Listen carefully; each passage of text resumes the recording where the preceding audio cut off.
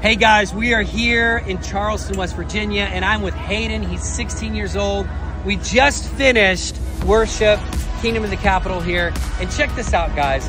God is using this next generation to rewrite the story of revival in their in their states.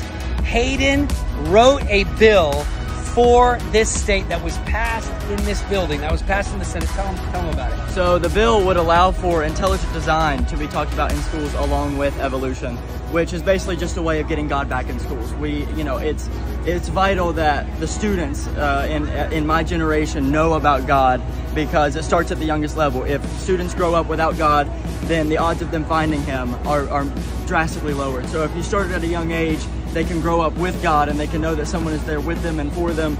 And getting this taught in the schools will help that uh, God grow inside of them and Jesus be there with them. Come on, guys, look at this. I mean, don't let anyone look down on you because of your youth, but rise up like Hayden did. We can listen. God is using this generation to do stuff we never dreamed of. From revival to reformation, dude, you're you're a rock star. Thank you very much. Bless you. Thank you. Awesome.